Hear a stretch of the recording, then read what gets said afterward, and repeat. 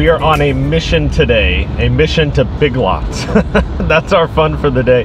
We're heading to Big Lots to look for Tart n Tinys and Wacky Wafers. My absolute favorite candy as a kid were Tart n Tinys. Every time we'd go to the movies at the Mann 6, there was a candy store next door that sold Tart n Tinys in bulk, and we would scoop them, get a giant bag, and take them to the movies with us. And they were discontinued, I believe, like in the late 90s, and they came back in 2014, better than ever.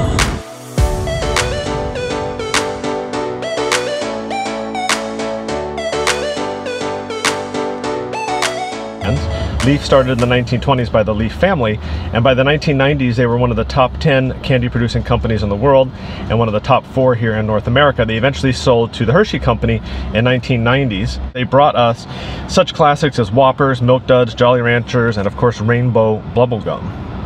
In 2011, the Lee family got back together and wanted to revive the brand and bring some classics back to the marketplace. So in 2014, Tart n Tinys was reintroduced. And I was one of the ones on the interest list waiting for those candies to come out. And I ordered a giant case of them. so for months, I ate Tart n Tinys.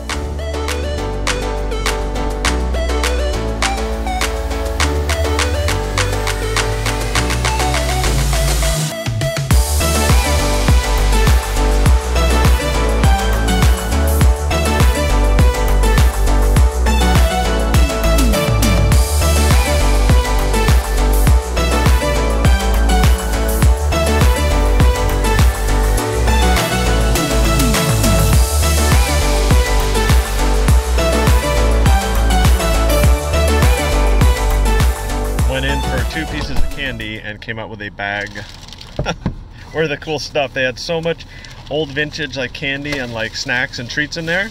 We'll show it to you when I get home. I managed to get both the Wacky Wafers and the Tart n Tinys, which now come with a new flavor, blue raspberry. So these were reintroduced in 2014 to the market after disappearing off of shelves in the uh, 1990s. Leaf also brought back a Spangler candy, which is Astro Pops. And Astro Pops were another one of my favorite candies. Every time we would go to Olvera Street, when I was little, I'd get an Astro Pop from one of the vendors. So they didn't have them, or at least I didn't see them at the big lots we were just at. So we're gonna head to the other big lots on Sycamore and see if they have them there.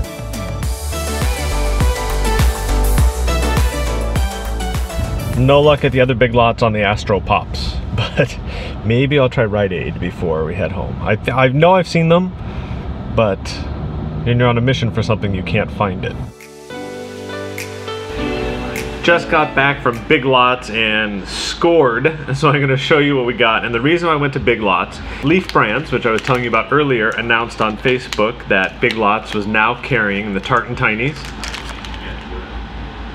and wacky wafers, so that's why I went to Big Lots. Now, truth be told, I go to Big Lots probably twice a week for all kinds of stuff. so here's a receipt from all the stuff that we bought. Let's try these first. They are the Leaf brand Tart n Tinys. And like I said, we used to buy these all the time when I used to go to the movies as a kid. We would stack them and put them in our mouth. There you go.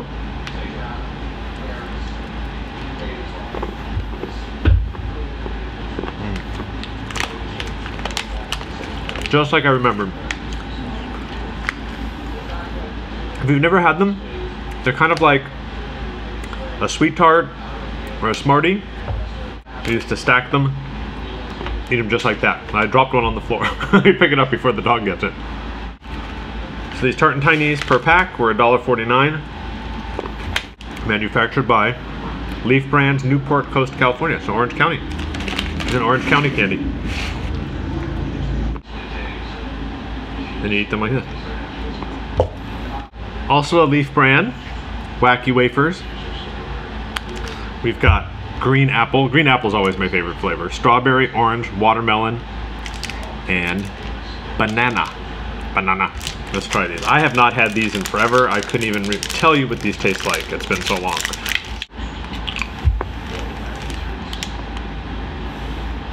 Oh yeah.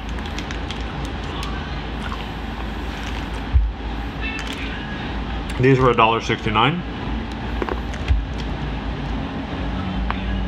Kind of hard to describe the taste. A little bit sour, a little tart. The green apple is really good. No, That brings back memories. So I've got a lot of these now. Thank you, Leaf, for bringing these back. While I was in Big Lots, I found a bunch of other vintage candies. Look at these. Who remembers these?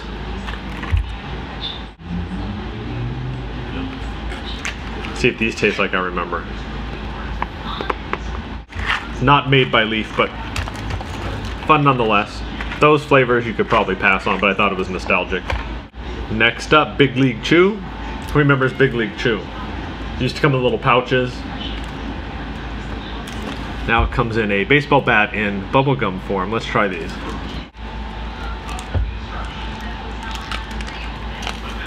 Mm. Different shape, tastes exactly the same as it used to. One of my favorite things to collect, other than baseball cards when I was little, was Wacky Packs. Do you remember Wacky Packs?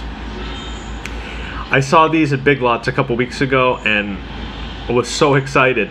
They come with the, they used to be little cards, I believe, and they come with little toys that are kind of knockoff brands. Like the package says Crips Ahoy for the Chips Ahoy, Soar Burst for Starburst, Silverfish for the Goldfish crackers. Each one comes with a little toy on top, and this one is Fielder's Coffee.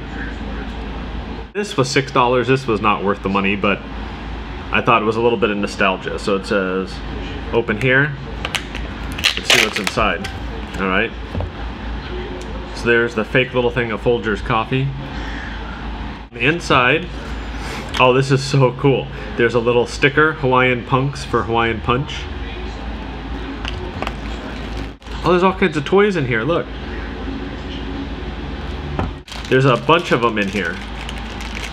A bunch of little toys. Okay, so maybe this was worth $6. And you can, collect, oh, this is series one. So this is back also from back in the day. Oh, look, they have Big League Spew. So this is all the ones that you can collect. So much fun. So I guess some of those are in these little packages. So the one that's on top, you know you're getting, and then the rest are a surprise. But I'm gonna wait on this and not open this. This is pretty cool. Anybody that used to go to the mall in the 1980s or 90s used to go to all the crazy gift shops, and they might have remembered these.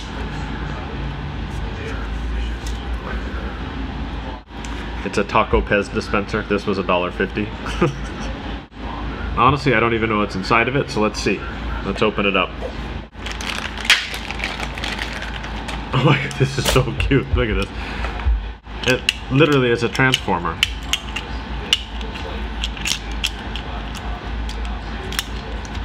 Oh, that's really cool. Oh, look at it, it turns into a truck. So this was only $2 there are eight different ones that you can collect. Oh, look at there was a hole in the side so you kind of know which one you're getting. Ah, smart. I didn't see that in the store. This video was not sponsored by Leaf Brands, and they didn't send me any of this. I actually went to Big Lots, as you saw, and purchased all of it myself. Leaf Brands was just the Tart n Tinys and the Wacky Wafers, but it kind of prompted me to purchase all these other goodies that brought back a little bit of nostalgia from my childhood. If you're not already following the channel, please do so. And you can find us also on social media at the Funnel Cake Blog on Facebook, Instagram, of course here on YouTube, and also Twitter. Until then, enjoy your candy.